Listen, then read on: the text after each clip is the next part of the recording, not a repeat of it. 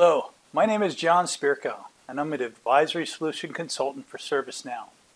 I'm also the founder and manager of a work group with over 250 public sector technology practitioners that support and deliver digital services. Every government CIO priority is related to the brokering of digital services in some way. Digitizing has become even more important as the rush to kill paper processes has only accelerated with the coming of COVID 19.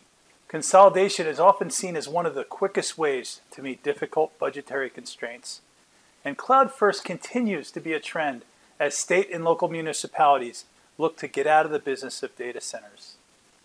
The list goes on, but there are limits to what a CIO can do. According to GovTech, the United States will spend $111 billion on state and local government technology in 2020.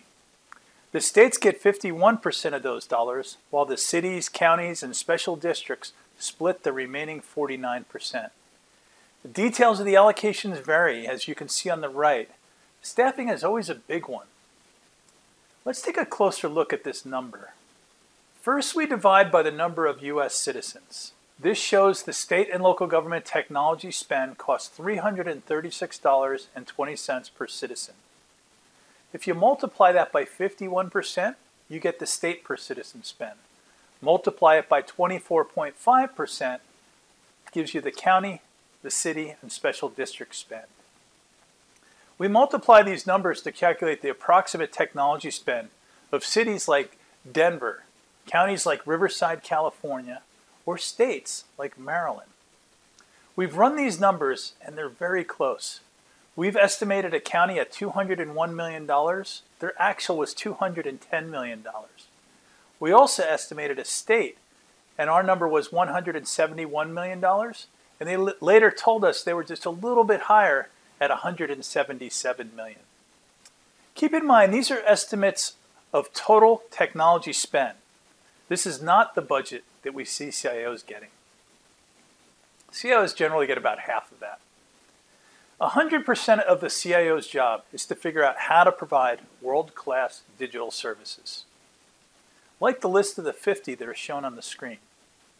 Consumers of these services range from citizens to employees and even leaders of the municipalities. Many municipalities have their digital services rolled up into portfolios like the one shown here, and this helps with things like governance and functional area leadership. We know that the CIO for the state of Maryland allocates 100% of their $994 million to deliver these types of services. The challenge is figuring out how to allocate this budget, and even more importantly, how to know if the investments we're making are good ones. Fortunately, this is what ServiceNow does at its core. It is a platform that provides a mean to deliver and support digital services. This is where your mission as government CIOs meets ServiceNow's mission as the world's leading digital service platform. This is how you realize the true benefits of CIO as broker. With CIO as broker, imperatives change from many to just two support and delivery of services, period. Strategic initiatives are to align on services and drive down costs on the support side so that you could be more aggressive on the delivery side. The result is an organization with an entrepreneurial spirit that outperforms traditional IT in every way. When we continue this conversation, we'll align the ServiceNow platform services that make this all possible, accompanied by a plan that will map it out in a journey over time. We would appreciate the opportunity to connect with you and review ServiceNow CIO as Broker solution in more detail. Thank you very much.